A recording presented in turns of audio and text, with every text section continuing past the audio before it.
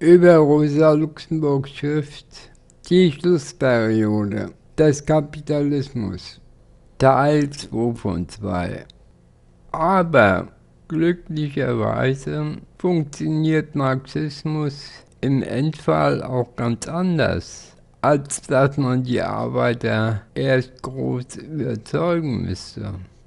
Wenn die Kapitalisten aus dem Betrieb keinen Profit mehr ziehen können, setzen sie sich wie in Argentinien 2001 oft in das Ausland ab. Nun sind die Kollegen selber gezwungen, wenn es keinerlei andere Arbeitsalternativen mehr gibt, auch gegen ihren Willen, ihren Betrieb zu besetzen. Wollen sie ihre Arbeit behalten? Das ist dann der erste Schritt zum Sozialismus, obwohl sie sich dessen noch gar nicht bewusst sind. Sie wählen ganz automatisch dort ihren Sprecherrat, der sich an ihre Beschlüsse halten muss. Nach dem gleichen Prinzip werden auch die Delegierten zur Koordination gewählt, weil immer mehr Betriebe selbstverwaltet werden. Diese Koordination übernimmt nach einer gewissen Größe, sagen wir bei 50% aller Betriebe, die Doppelherrschaft. Und wenn sich um einen Arbeiterrat oder Arbeiter- und Soldatenrat, keiner braucht sich den Mund fusselig reden. Und die Arbeiterklasse steht vor der Übernahme der Räterepublik. Dieser Punkt, dass die Kapitalisten im Durchschnitt keine Gewinne mehr aus ihrem Betrieb ziehen, ist schon erreicht. Die Betriebe halten sich im Durchschnitt nur noch so über Wasser, weil die EZB für Nullzinsen ihre Schuldenpapiere kauft. Die EZB hat schon angekündigt, dass sie mit dem Kauf der Anleihen im Dezember Schluss machen will. Link 1. Oh je, dann geht das ganz schnell abwärts. Und dann kommen die Betriebsbesetzungen.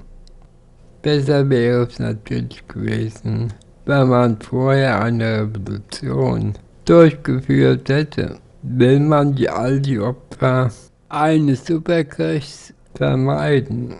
Und der wird kommen. Hier nur die letzten Meldungen dazu. Titelzitate. ESM-Chef Regling, die nächste Finanzkrise wird kommen. 9.05.2018.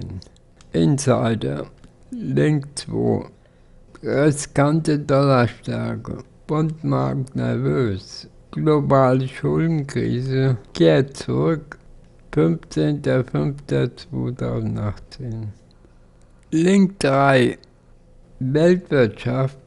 Wachstum in exportstarken Ländern geht zurück. 16.11.2018. Link 4. Vorbild Asienkrise.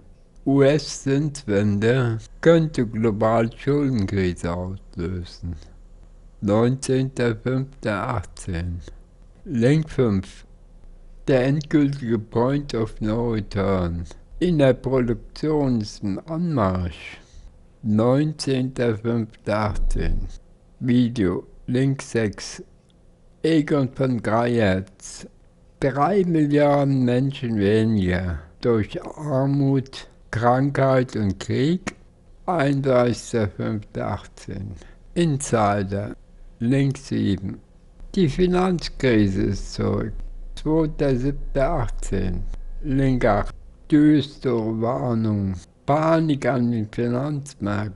4.06.18 Link 9 James Rickards eine Rezession steht bevor. Und die Fed kann sie nicht aufhalten. 15.06.18 Super Insider Link 10 Die Weltschulden werden immer größer, die Derivate immer umfangreicher. die Börsenkurse immer höher gegenüber dem realen Wert des Konzerns. Seit 2008 geht die Weltwirtschaft nur noch bergab. In allen Staaten. Alle Staaten versuchen das mit der Abgabe einer zu niedrigen Inflation zu verbergen. Über den BIP-Deflator wird das Wirtschaftswachstum dann schön gerechnet. Siehe Börsenguru Professor Max Otto bestätigt indirekt, die Wirtschaft geht bei uns im Rückwärtsgang. Link 11. Fokus. Die Inflation wird falsch gemessen. 24.06.18. Link 12. In den US-Staaten schwindet auch das Vertrauen zusehends. Die Differenz zwischen der fünfjährigen und der zweijährigen Staatsanleihe beträgt nur noch 0,2 Prozent. Wir sind schon weit in der fiktiven Welt. Zu allem Unglück kommt jetzt noch, dass die EZB ihre Anleihekäufe einstellen will. Titelzitat Deutsche Wirtschaftsnachrichten EZB will Anleihekäufe im Dezember beenden. 14.06.2018 Link 13 Wenn das umgesetzt wird. Oh je, der kommende Supercrash wird nicht zum Lachen sein. Ab dem ersten Tag, an dem er festgestellt wird, werden die Supermärkte leergeräumt sein. Nun werden die Vandalenheere über das Land ziehen. Bürgerkriege zwischen den rechten Deutschen und der CIA-Geheimarmee ISIS und ihre Anhänger brechen aus. Eine Hyperinflation wird entstehen. Ich hoffe, dass die Großstädte dann mit Lebensmittelmarken lenken gewerkschaftliche, Milizionäre und Notgeld die Ordnung einigermaßen aufrechterhalten können. Natürlich, noch sicher sind die Gegenden, wo man überhaupt nicht mit dem Auto hinkommt. Nach Karl Marx Einschlummern hört sich das alles nicht an. Eher nach Rosa Luxemburg Katastrophen und Todeszuckungen. Diese Differenz resultiert letztlich aus der falschen Abstrahierung von Marx. Im zweiten Band des Kapitals, im 21. Kapitel Akkumulation und erweiterte Reproduktion, dass der Überschuss immer im Produktionsmittelsektor auftauchen würde. Link 14 er abstrahierte sogar so bei der erweiterten Reproduktion, dass die Profitrate gegen 20% zustrebt, nicht gegen Null, wie richtig im dritten Band, und das Verhältnis von C und V und N immer gleich blieb. Diese Fehleinschätzung ist natürlich nur dem Notizcharakter geschuldet und er keine Zeit mehr fand, dieses Buch auch aufzuarbeiten. Dann wären ihm die Differenzen zu dem dritten Band aufgefallen, indem er ja eine geniale Entdeckung gemacht hat, die des tendenziellen Falls der Profitrate. Sein früher Tod mit jugendlichen 65 Jahren war das Problem. Er hat eben zu viel geraucht, aber irgendeine Entspannung braucht jeder Mensch.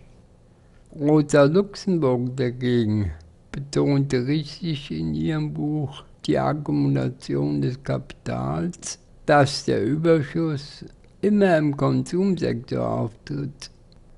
Link 15. Dieser Überschuss kann aber nun auf den Produktionsmittelsektor übertragen werden. Nun hatte Tony Cliff in seiner Biografie Studie über Rosa Luxemburg, Kapitel 8, die Akkumulation des Kapitals, Link 16, die Sektoren auseinanderstreben lassen und richtete einen Übertrag in den anderen Sektor ein. Er ließ aber die Verhältnisse relativ immer gleich und kommt daher auf den gleichen Fehler wie Marx. Nun hatte der englische Professor von der Universität Leeds, John Peter Nettle, in seiner Biografie über Rosa Luxemburg sich auf Tony Cliff bezogen und diesen Fehler weiter verbreitet. Link 17 so glaubt die ganze Linke in der ganzen Welt. Marx hatte recht und Luxemburg lag falsch. Wenn man aber C und M immer weiter auseinandergehen lässt und die Sektoren auch, dann tritt der Überschuss immer im Konsumsektor auf. Immer. Siehe Excel-Tabellen von Marx, Luxemburg, Tony Cliff und mir. Link 18. Also hatte Rosa Luxemburg recht und Marx lag da falsch. Dann sinkt auch die Profitrate gegen Null. Wie er das ja im dritten Band richtig analysierte. Wenn aber die Investitionen weltweit stärker als die Löhne sinken, als die Entwicklung rückwärts verläuft. Dann tritt der Überschuss im Produktionsmittelsektor auf und kann nicht mehr übertragen werden. Bei jedem verlorenen Arbeitsplatz im Produktionsmittelsektor gehen fünf weitere verloren. Die Volkswirtschaften weltweit brechen ein. Den ersten Point of No Return hatten wir 2008 gehabt. Da brachen weltweit die Wirtschaften um 5 bis 7 Prozent ein. Seither haben die südeuropäischen Staaten sich nicht mehr davon erholt und dass sich Deutschland erholt hätte wegen der Inflationsfälschung wird von uns auch in Frage gestellt. Da die Krisen etwa regelmäßig alle zehn Jahre auftreten, wird der endgültige Point of No Return 2008 oder 2009 auftreten. Dann wird kein Staat mehr sich davon erholen können.